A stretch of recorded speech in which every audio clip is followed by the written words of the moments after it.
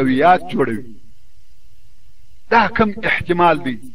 دا کم تصادف دی چې دوه یا درې میلیونه کرویات د مختلفو موادو څخه په یوه ثانیه کې تصادفا جوړیږي دا کېدای شي او که دا کار تر هغه کتاب چې د مخه مو درته وویل ډېر مشکل دی ایا عقل دا حکم نه کوي چې د دغه کرویاتو تصادفا جوړېدل د هغه کتاب تر جوړېدو چې حروف په خپله راتوی شي او پنځه صفحه ایزه قصیده جوړه کړي په سلهاوو او زرهاوو کراته ډېر ډېر مشکل دی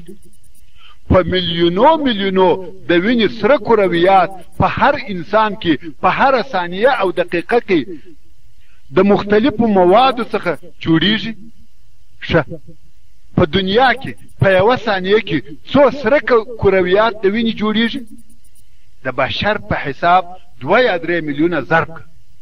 دا څنګه تصادف دی او په هره ثانیه کې تکرارېږي؟ ممکن چې دا دې تصادف وي؟ او که عقل وایي مستحیل مستحیل مستحیل چې دا دې صدفه او تصادف وي. خامخا یقینا یو څوک سته چې دا اراده یې کړې ده چې په دغه ډول دې جوړ سي چې دغه ته دلیل الاحساس ویل کیږي منظم او معین حساب ورته کیږي چې باید دغسې جوړ سي اوس نو دغه کرویات یا یو چا قصدن جوړ کړي دي یا تصادفا په وجود راغلي دي او دا هغه دلیل دی چې علما دلیل القصد ورته وایي دلته اراده سته د دغه جوړولو څخه هدف او مقصد سته خود به خود او تصادفا نسی کېدلی دا ټوله هغه عقلي حقائق او دلائل و چې د الله سبحانه وتعالی وجود ثابتوي اوس نو د دغه دلایلو په بیانولو کې ژبه ډیر استعمال سوه ولې بیا له دغه اتفاق څخه چې موږ او تاسې پر الفاظو لرو لکه قلم چوکۍ او داسې نور که دغه مشترکه ژبه نه وای موږ او تاسې نسوای سره پوهېدلی مقصد ته نسوای رسېدلی نو مو ژبه او عقل استعمال کړه چې و دغه نتیجې ته ورسېدو، د الله عز وجل وجود په عقلي دلایلو ثابت شو.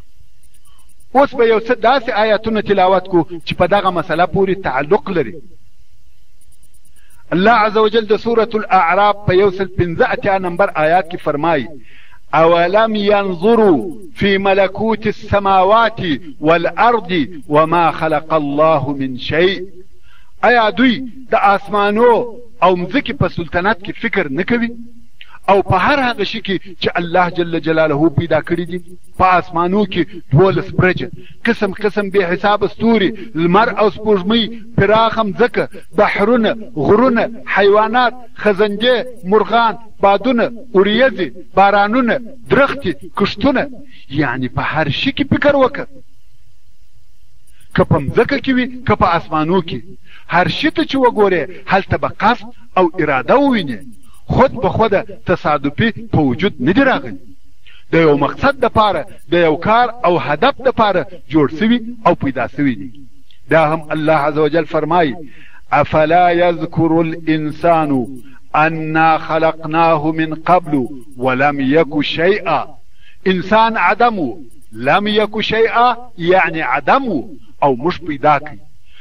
مګر هغه څوک چې انسان یې پیدا کړی دی دا غیر ممکنه ده چې هغه دې هم عدم وو ځکه خامخا شروع سته انسان عدم وو مخلوقات ټوله عدم وه چا پیدا کړه هغه اول پیدا کړه هو الاول جل جلاله او بیا الله عز وجل د سورة الشورا په نویشت نمبر آیات کې فرمایي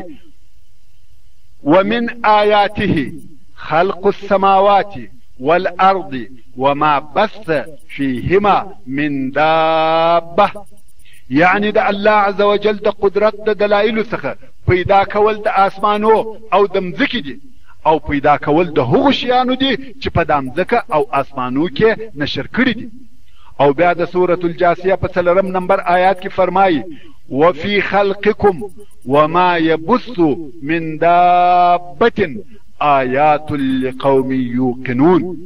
یعنې ستاسې په خلق او پیدا کولو کې او د هغو شیانو په پیدا کولو کې چې الله عز وجل په مځکه کې نشر کړي دي چې هر قسم حیوانات دي د الله عز وجل د قدرت ډېر دلایل موجود دي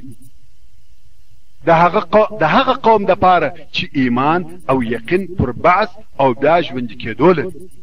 او بیا الله عز وجل د او بیا الله عزوجل د سورة النمل په اوولس نمبر آیات کې فرمایي افمن یخلق کمن لا یخلق افلا تذکرون دا پس له هغه څخه چې الله عزوجل خپل مختلف مخلوقات او قدرتونه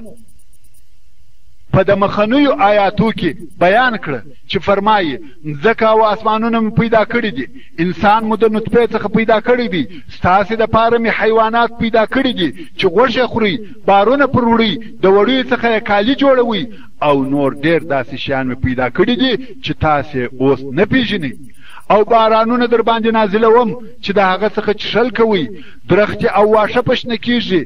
چې هغه مو بیا د حیواناتو خوراک دی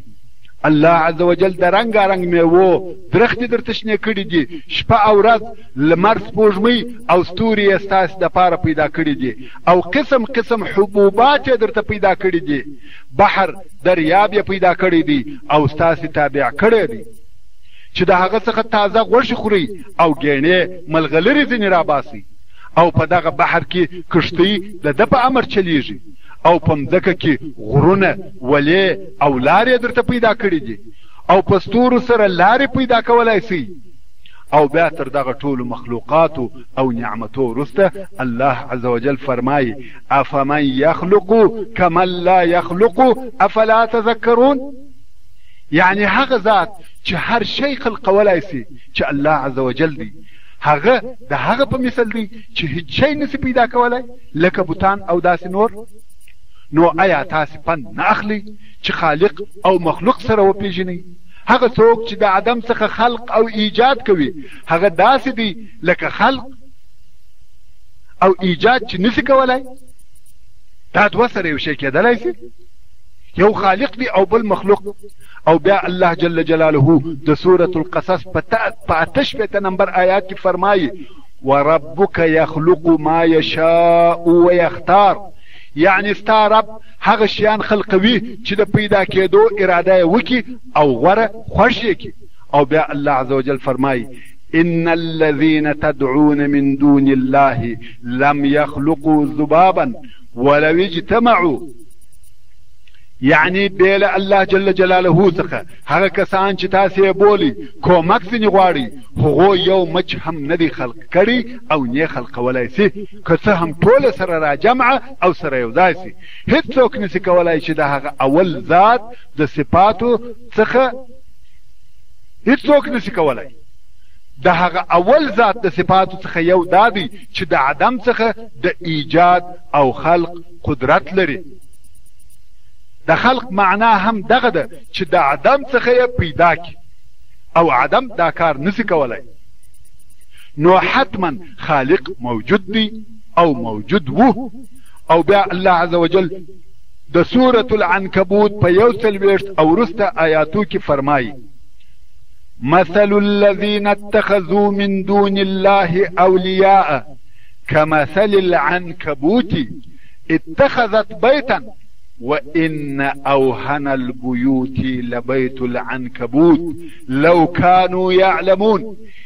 یعنی مثال د هغو کسانو چې بې له الله جل جلاله یې د خپل ځان دپاره اولیا معبودان نیولي دي دا په مثل د عنکبوت د غڼې دي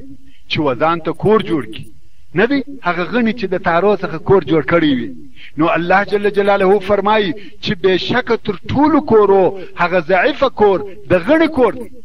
که چیرې دوی پوهېدلی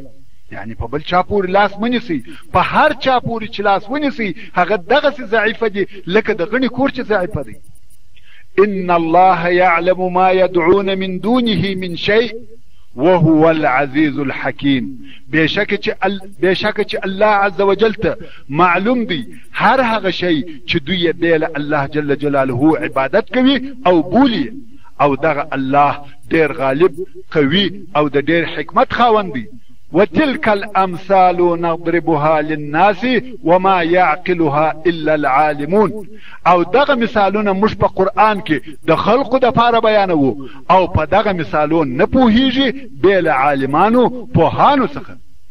وروڼو په دغه تلاوت سوو مبارکو آیاتو کې و څو قسمه فلسفي او منطقي دلایلو ته اشاره سته او هغه